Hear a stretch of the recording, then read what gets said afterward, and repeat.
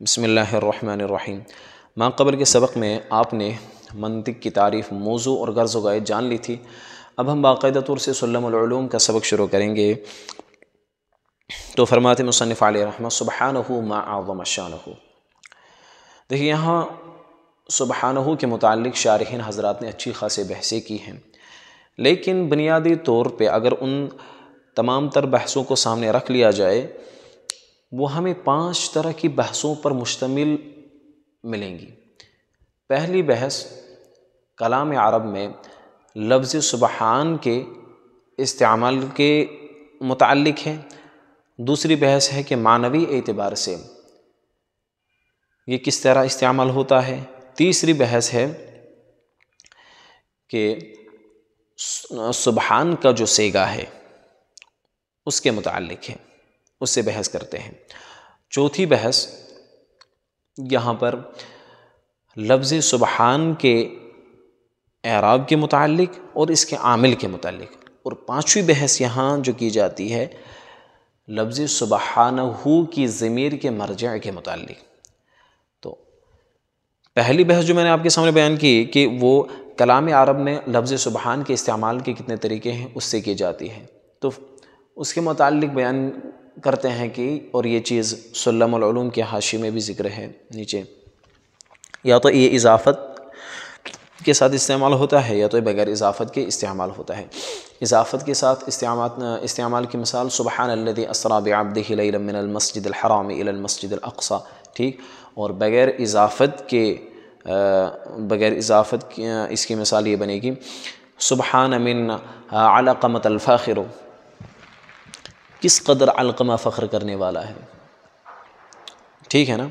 यानी इजाफ़त की सूरत में मुनसरफ रहेगा और बग़ैर इजाफ़त की सूरत में गैर मुनसरफ।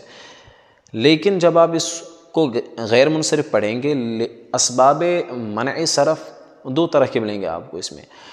या तो आप इसमें आलमियत और अलिफ़ायदतान का एतबार करके इसको गैर मुनसरफ पढ़ सकते हैं, या आप इसमें अलमियत और शिबह तानीस की वजह से आप इसको गैर मुनसरफ पढ़ सकते हैं। अब मानवी एतबार से क्या बहस की जाती है? तो फरमाते हैं कि मानवी एतबार से ये दो तरह इस्तेमाल होता है। या तो तस्बीह के माना में इस्तेमाल होता है, या तो ये ताजुब के माना में इस्तेमाल होता है। और ताजुब की मिसाल वही ऊपर वाली जो मैंने बयान की, सुबहान मिन आलाकमत अलफ़ाखिर वही इसकी मिसाल बनेगी। तीसरी बहस जो मैंने आपके सामने बयान की जो शारही ने यहाँ की है, कि लफ्ज़ सुबहान है क्या? सेगे के अतबार से। तो तीन अकवाल इसमें मिलते हैं और ये भी हाशिया में ये चीज़ ज़िक्र है। पहला कौल बयान करते हैं इमाम बैज़ावी का रहमत उसके बाद इमाम राज़ी रहमा का, उसके बाद अल्लामा जारमखशरी का। इमाम बैज़ावी रहमत फरमाते हैं कि ये मजदर है और इमाम राज़ी रहमा फरमाते हैं कि ये इसमें मजदर है और अल्लामा जारुल्ला जमखशरी फरमाते हैं कि आलम मसदर है।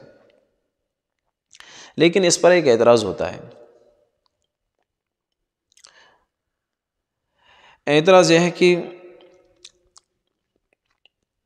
लफ्ज़ सुबहान को मजदर या आलम मजदर कहना बिल्कुल दुरुस्त नहीं है। आलम मजदर तो इस माना कर यहाँ करार देना सही नहीं है, क्योंकि कायदा है कि अलामलातुसाफ़ हो जो आलाम होते हैं, उनकी इजाफ़त नहीं होती। हालाँकि यहाँ ये हालत इजाफ़त में ही इस्तेमाल है। ठीक? तो मसदर तो मसदर की सूरत अब बची बाकी। तो कहते हैं कि अगर इसको आप मजदर करार दें तो फिर या तो आप इसको मज़ीद फ़ी का मजदर करार देंगे, या इसको आप मुजरद का मजदर करार देंगे। और मज़ीद फ़ी का मजदर आप इसको किसी सूरत में करार नहीं दे सकते। क्यों?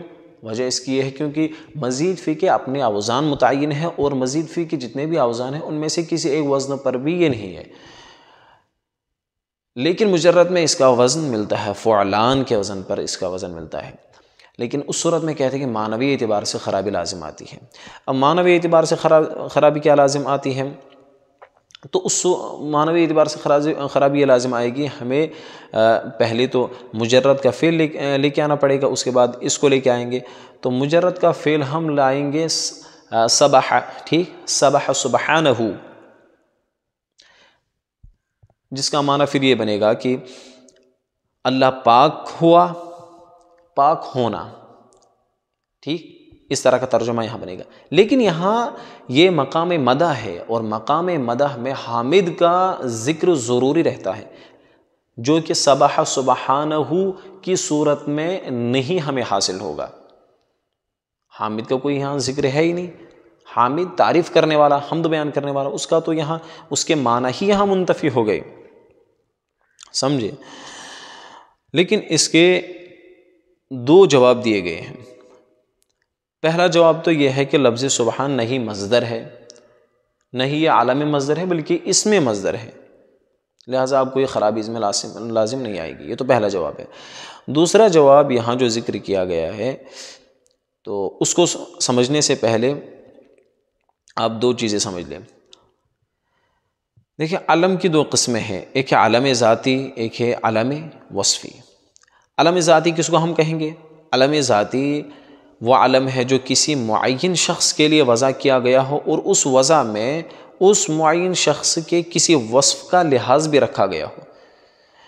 जैसे किसी का नाम जैद रखा गया। कत नज़र इस चीज़ की कि उस शख्स में जहद पाया जाता है या नहीं पाया जाता, इससे कोई बहस नहीं है। ये है आलम ज़ाती। आलम वसफ़ी की तारीफ़। आलम वसफ़ी की तारीफ़, वो आलम है जो किसी मुन शख्स के लिए वज़ा किया गया हो। लेकिन उसमें वज़ा यानी कि उसकी वज़ा में किसी वस्फ़ का लिहाज भी रखा गया हो। इसकी मिसाल हम इस तरीके से बना सकते हैं जैसे आ, किसी का नाम हमने असद रख दिया। इस एतबार से कि वो बहुत शुजा है। तब तो मिसाल बन सकती है ना? तो ये है आलमी वसफ़ी। तो इन दो चीज़ों को याद रखने के बाद अब असल नुक्ते पे आइए कि लफ्ज़ सुबहान को मसदर कहना भी दुरुस्त है। आलम मजदर कहना भी दुरुस्त है। और आलम मजदर के सिलसिले में मैंने जो ऊपर कायदा ज़िक्र किया था अलमतुज़ाफ़ वहाँ मुराद आलाम ज़ातिया है, न कि आलाम वसफ़ी, जबकि सुबहान ये आलाम वसफ़िया में से है, न कि आलाम ज़ातिया में से है। तो लिहाजा यहाँ पर सुबहान का आलम मसदर बनना दुरुस्त है। और बाकी जो रहा सवाल कि लफ्ज़ सुबहान को मजदर मान सकते या नहीं मान सकते? बिल्कुल मजदर भी मान सकते हैं। फिर ऊपर जो इश्काल ज़िक्र हुआ, फिर उसमें मानवी एतबार से ख़राबी लाजम आती है कि अगर हम इसको मुजरद का मजदर मान लें तो मुजरद का मजदर मानने की सूरत में इसकी मिसाल बने कि सबह सुबहानहू। फिर इसमें मकाम हमद है और मकाम हमद में हामिद का ज़िक्र ज़रूरी होता है और यहाँ हामिद का ज़िक्र नहीं पाया गया तो इस एतबार से मानवी ख़राबी लाजिम आती है। तो इसका जवाब है कि यहाँ पर आमिल जब है ही नहीं मुजरद का, यहाँ तो आमिल मज़ीद फ़ी का है। तो तकदीर इबारत क्या बनेगी फिर? तकदीरी इबारत बनेगी सब्बातुल्लाह सुबहान मैंने अल्लाह की खूब तस्वीर बयान की। तो अब मानवी एतबार से कोई ख़राबी लाजिम आई नहीं, मकाम मदह के मुनासिब है। लेकिन अब आप ये एतराज़ कर सकते हैं कि आमिल तो मज़ीद फ़ी से हैं और मामूल मुजरद से। और मफुल मुतलक के लिए अपने आमिल से लफ्ज़न मुताबकत ज़रूरी होती है। या आप कर सकते हैं एतराज़।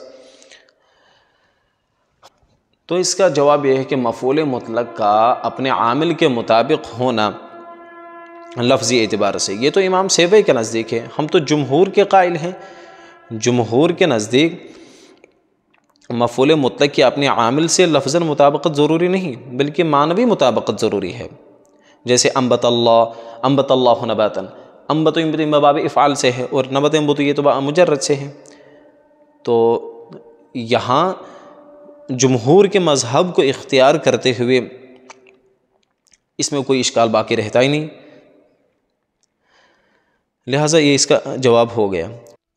चौथी बहस जो मैंने ज़िक्र यहाँ की थी कि सुबहान हो के अरब के मुतक़ और सुबहान हु के आमिल के मुतक़ जो यहाँ पर बहस की जाती है। देखिए सुबहान हु ये मफूल मुतलक होने की बिना पर यह मनसूब है। और मुतफ़ा तौर पर इसका आमिल यहाँ, यानी आमिल मनसूब यहाँ महजूफ़ है। इसमें किसी का इख्तलाफ नहीं है। लेकिन इख्तलाफ जो है, वो हैसियत हज़फ में है यहाँ। अल्लाह रज़ी के नज़दीक ये हसफ़ क़ियासी है, क्योंकि उनके नज़दीक कायदे है कि जब मफूल मतलब ज़मीर फ़ाइल या ज़मीर मफूल की तरफ़ मुजाफ हो तो उस मफूल मतलब के आमिल को वजूबन हज़फ कर दिया जाता है। यह है इनका मज़हब। लेकिन अल्लामा इबन हाजिब रहमत और दीगर नहवियों के नज़दीक ये इसमाई है, ये क़ियासी कायदा नहीं है। पाँचवीं बहस जो की जाती है वो सुबहान की ज़मीर के सिलसिले में की जाती है कि सुबहान की ज़मीर का मर्जा क्या है? देखिए, इसमें तो सबका इत्तेफाक है, किसी का इख्तलाफ नहीं कि इस ज़मीर का मर्जा अल्लाह ताला की ज़ात ही है। लेकिन यहाँ इजमार कबल ज़िक्र कैसे दुरुस्त हो रहा है, इसके मुतद जवाब दिए गए हैं। पहला जवाब तो ये दिया गया है कि अगर तस्मिया को किताब का जुज़ आप बना लें तो तस्मिया में लफ्ज़ अल्लाह है, लफ्ज़ रहमान है, लफ्ज़ रहीम है। आप तीनों में से किसी एक को भी इसका मर्जा बना सकते हैं। दूसरा जवाब ये दिया गया है कि सुबहान, यानी लफ्ज़ सुबहान इक़्तज़ान और इल्तज़ामन मुसब्ह और मुसबह पर दलात करते हैं। मुसब्ह यानी सारी मखलूक, जो अल्लाह ताला की तस्बीह बयान करने वाली है। मुसबह यानी जिसकी तस्बीह बयान की जाए, वो ज़ात बारी ताला है। लिहाजा ये ज़मीर जो सुबहान के आखिर में है, उस मुसबह की तरफ़ राज है, जिस पर लफ्ज़ सुबहान दलालत करता है। बात को समझिए। सुबहानहू के आखिर में जो ज़मीर है, उस मुसबह की तरफ़ राजे हैं, जिस पर लफ्ज़ सुबहान दलालत करता है। और जो मुसबह लफ्ज़ सुबहान के ज़िम्न में पाया जा रहा है, उस पर ये दलालत करता है। और कभी मर्जा ज़िम्न भी हुआ करता है। समझे? और तीसरा जवाब ये दिया गया है कि हर मुसलमान के दिल में ज़ात बारी ताला का तस्वुर रहता है। लिहाजा ये जो ज़मीर है, उसी मुतसवर की तरफ़ लौटेगी। और भी मुतद जवाब इसके दिए गए हैं, फ़िलहाल यहाँ इतना जानने के लिए काफ़ी है। चलिए, बेहदा मराम आलम बहक़ीक़त कलाम।